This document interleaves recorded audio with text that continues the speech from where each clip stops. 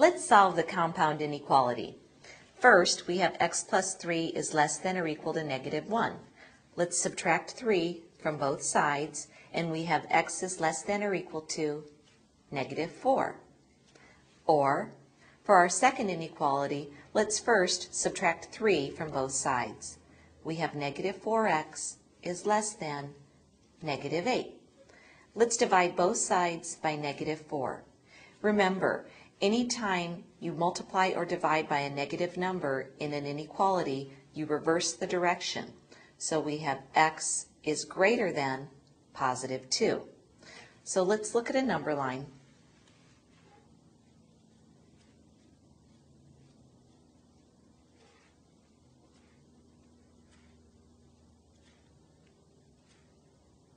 And let's graph this solution.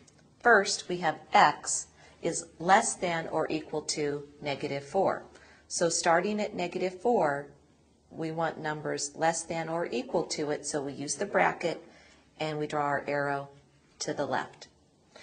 Or x is greater than 2, we start at positive 2 with a parenthesis because we have a strict inequality, there's no equal sign, and we draw our arrow to the right.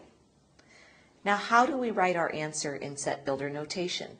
Because we started with the word or, we want to write the set of all x such that we have two different intervals here.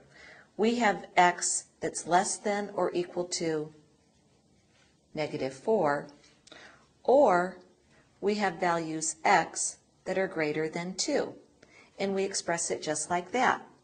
The interval notation can be written by starting at negative infinity all the way to and including negative 4.